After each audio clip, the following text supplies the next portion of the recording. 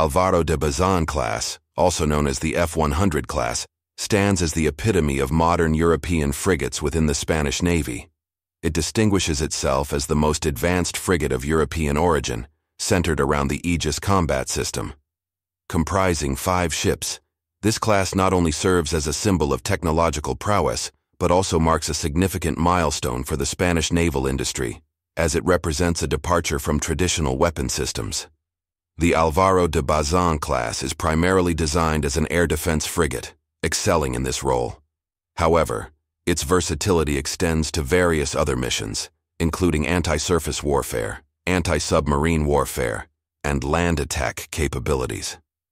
This adaptability aligns with the evolving military requirements of the Spanish Navy. The genesis of this formidable warship can be traced back to the Joint Frigate Development Program proposed by some NATO countries in the 1960s. The initiative gained momentum when a research group was established in 1979. Feasibility studies commenced in 1981, coinciding with Spain's entry into NATO in 1982. Spain joined the NATO frigate replacement for the 90s, NFR 90 program in 1983, uniting with seven other participant countries, Canada, France, Germany, Italy, the Netherlands, the UK, and the USA. However, due to divergent agendas and requirements, the collaboration disintegrated swiftly. In 1993, Germany, the Netherlands, and Spain took the initiative to establish the Trilateral Frigate Cooperation Program.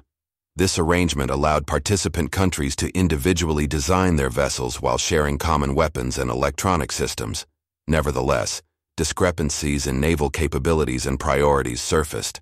Spain, possessing a light aircraft carrier, had distinct requirements for fleet air defense, differing from the needs of Germany and the Netherlands. The latter two nations did not operate similar vessels, and their focus was on an independent approach. Consequently, Spain withdrew from the program in 1995. Once the vessel design had reached completion, Madrid took the decision to integrate the Aegis combat system onto the ship in 1996, subsequently granting authorization for the construction phase in 1997. These newly designed ships were intended to replace the Spanish Navy's Baleares-class frigates, which were a locally modified version of the U.S. Knox class.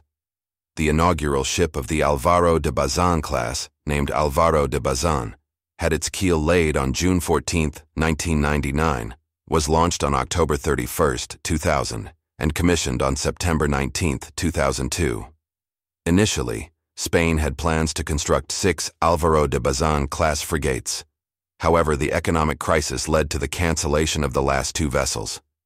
In 2007, the construction of the fifth ship, Cristobal Colon, was authorized.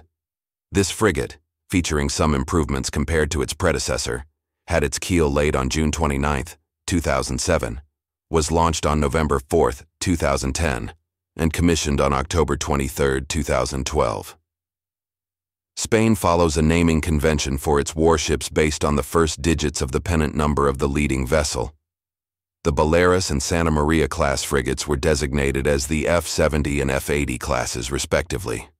Upon joining the NFR 90 program, Spain designated the new ship as the F-90 class. Consequently, the Alvaro de Bazan class is also identified as the F-100 class by the Spanish Navy. This class represents a milestone for the Spanish Navy, as it incorporates the ballistic-resistant AH-36 high-strength steel in the hull, making it the first modern vessel with such capabilities. The ship boasts an angled stealth design, featuring a low freeboard on the stern deck. The superstructure's profile does not align with the deck line, and a pronounced bulge is present on the bow. With four decks and 13 main bulkheads, each deck is equipped with an independent filtration and air conditioning system. This design enhances damage control capability and provides protection against NBC, nuclear, biological, chemical threats. In this specific area, local bulkheads extend to the upper structure to support the weight of the AN-SPY 1D radar. The machinery is mounted on anti-vibration mounts to reduce acoustic signatures. The front machine room propels the starboard shaft, while the aft, AF machine room drives the port shaft. Each generator room houses two generators. A fin stabilizer not only diminishes the acoustic signature, but also enhances sea-keeping capabilities. To reduce infrared signatures, exhaust gases are released into the atmosphere after being cooled. The Alvaro de Bazan class was designed with an additional 450-ton margin to facilitate future modernizations and the integration of possible new systems. The flight deck, measuring 26.4 meters in length and 17 meters in width, is supported by a recovery assistance securing and traversing system. The Spanish Navy utilizes the Alvaro de Bazan class with SH-60 Seahawk helicopters. The Cristobal Colon has an enlarged hangar and flight deck, enabling it to operate NH-90 helicopters in addition. According to the Spanish Navy's official website, the complement of the Alvaro de Bazan class is 216 personnel. The ship has a length of 146 out of 760 meters, with a fully loaded displacement of about 5,150 tons. The combined diesel or gas configuration propulsion system comprises two 23,164 horsepower General Electric LM2500 gas turbines and two 6,120 horsepower BAN, Bravo, Caterpillar, 3-600 diesel engines. The top speed of the Alvaro de Bazan class is 28 knots, with a range of 8,534 kilometers, approximately 4,500 nautical miles. Unlike the first four vessels, Cristobal Colon's fully loaded displacement is 6,391 tons, with improved diesel engines providing a higher top speed. The frigate is equipped with a 1,140 horsepower retractable bow thruster for port operations. The first four vessels are equipped with the standard Aegis combat system, while Cristobal Colon features the SCOMBA combat management system, a variant of the Aegis modified to meet the Spanish Navy's requirements. Initially, the first four vessels had the SPY-1D baseline S-1 radar, equivalent to the U.S. baseline 6 Phase 1. Later, these radars were upgraded to the baseline S2 standards, similar to the U.S. baseline 6 Phase 2. Consequently, the frigates gained ballistic missile detection and tracking, joint engagement, SM-2, Block 3B air defense, and Tomahawk cruise missile firing capabilities. Embark on an enriching adventure with Bulldog Audits News, where every piece of information is a treasure trove waiting to be explored. Your decision to join us on this historic journey is a testament to your quest for knowledge. To amplify your engagement, ensure you never miss a beat by subscribing to our channel. By doing so, you not only stay updated with the latest insights, but also become an integral part of our community. The more, the merrier. Spread the excitement further by expressing your appreciation. Hit the like button and share this valuable content across your social media landscape. Let's create waves of awareness and curiosity together. Your involvement makes the narrative richer, and we're thrilled to have you on board for what promises to be an exhilarating expedition with Bulldog Audits News. If you have any information you'd like to share with the community, please feel free to do so in the comments below. The modernization efforts have endowed these frigates with enhanced capabilities, including a lower elevation functionality for the bow gun, reduced reaction time, and multi-missile layered missile defense features. Cristobal Colon's Aegis Baseline S3 combat system, featuring the AN-SPY-1DV radar and advanced computer architecture, is equivalent to the U.S. Baseline 7. This upgrade has bolstered cooperative engagement, tactical ballistic missile defense, littoral water combat capabilities, and resistance against electronic warfare. All frigates are equipped with the AN-SPY-62 fire control radar. However, the first four vessels are fitted with the US SPS-67V surface search radar and NSSPS-73 navigation radars. In contrast, Cristobal Colon features the locally developed ARS radar for both functions. Although the Alvaro de Bazan class possesses the capability for the RIM 66M SM-2 Block 3B air defense and Tomahawk cruise missile firing, the Spanish Navy has yet to acquire these capabilities. The frigates are equipped with a 48-cell Mark 41 vertical launching system, carrying 36 RIM 66L SM-2, MR Block 3A and 48 RIM 162 ESSM air defense missiles. The semi-active radar-guided SM-2 MR Block 3A has a range exceeding 160 km and a top speed of Mach 3.5. The RIM 162 ESSM has a range of 50 km and a top speed of Mach 4. The Alvaro de Bazan class is armed with eight RGM-84 Harpoon anti-ship missiles, featuring a 221.50 kilon semi-armor piercing warhead with a range of 124 kilometers and a maximum speed of Mach 0.85. Plans are underway to replace these missiles with the Naval Strike Missile, NSM, a land attack capable anti-ship missile with a top speed of Mach 0.95 and a range exceeding 185 kilometers. The NSM is equipped with a 125 kilos high explosive blast fragmentation warhead and a high-resolution passive imaging infrared seeker, employing advanced software for independent detection, identification, and discrimination of ships.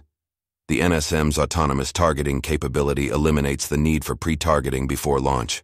The Spanish Navy initially intended to outfit the Alvaro de Bazan class frigates with 76mm compact guns.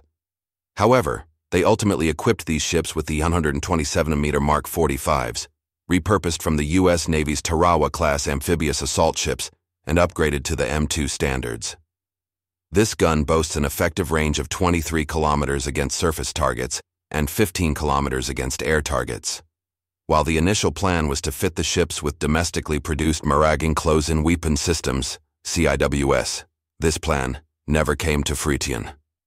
The first four vessels are armed with two 20mm guns, while Cristobal Colon is equipped with two 25mm guns. The Alvaro de Bazan class features the hull-mounted D1160LF active and passive sonar, along with two Mark 32 Mod 9 twin torpedo launchers loaded with Mark 46 Mod 5 torpedoes for anti-submarine warfare missions. The 324 Miners Mark 46 Mod 5 torpedo has a range of 9.25 kilometers and a speed of 45 knots. In 2005, the Spanish Navy deployed the Alvaro de Bazan to the Persian Gulf, marking the first deployment of a Spanish warship as part of a U.S. aircraft carrier battle group. Two years later, the ship sailed to Australia, becoming the first Spanish warship to visit the country in 150 years. In 2019, the Mendez Nunez became the first Spanish naval vessel to visit the Philippines since the Battle of Manila Bay during the Spanish-American War in 1898.